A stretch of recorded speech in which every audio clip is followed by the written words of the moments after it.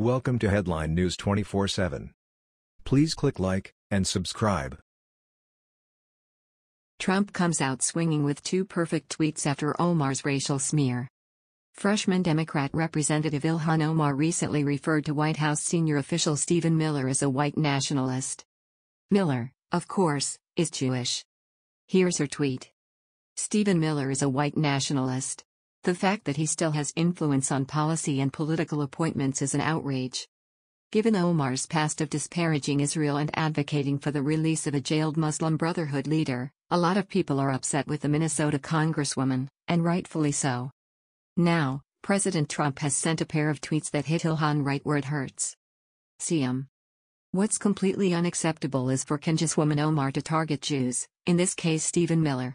Jeff Ballabon, B2 Strategic, CEO. At Varneyco. It was recently reported that Omar has been holding fundraisers with groups tied to terror, in secret.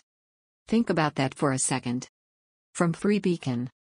Democratic freshman Representative Ilhan Omar, D., Minnesota, has been holding a series of secret fundraisers with groups that have been tied to the support of terrorism, appearances that have been closed to the press and hidden from public view. The content of these speeches, given to predominantly Muslim audiences, remains unknown, prompting some of Omar's critics to express concern about the type of rhetoric she is using before these paying audiences, particularly in light of the lawmaker's repeated use of anti Semitic tropes in public. Omar recently spoke in Florida at a private event hosted by Islamic Relief, a charity organization long said to have deep ties to groups that advocate terrorism against Israel. Over the weekend, she will appear at another private event in California that is hosted by CAIR PAC, a political action committee affiliated with the Council on American Islamic Relations, or CAIR group that was named as an unindicted co-conspirator in a massive terror funding incident. Is this any different than if a Republican congressman held a secret fundraiser with a Nazi-affiliated outlet? Imagine the outrage from the media, if that were the case. Omar's appearance at these closed-door forums is raising eyebrows in the pro-Israel world due to her repeated and unapologetic public use of anti-Semitic stereotypes accusing Jewish people of controlling foreign policy and politics.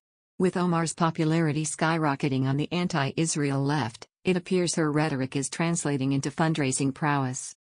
It remains unclear what Omar has told these audiences in her private talks.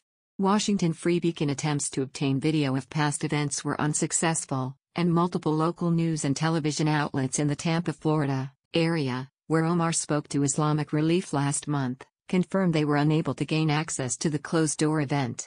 Islamic Relief has come under congressional investigation for what lawmakers have described as its efforts to provide assistance to terrorist groups such as Hamas and the Muslim Brotherhood. The charity has been banned by some countries as a result of these ties. That was the news. We thought you might be interested in knowing about this. Please click like and subscribe. Thank you.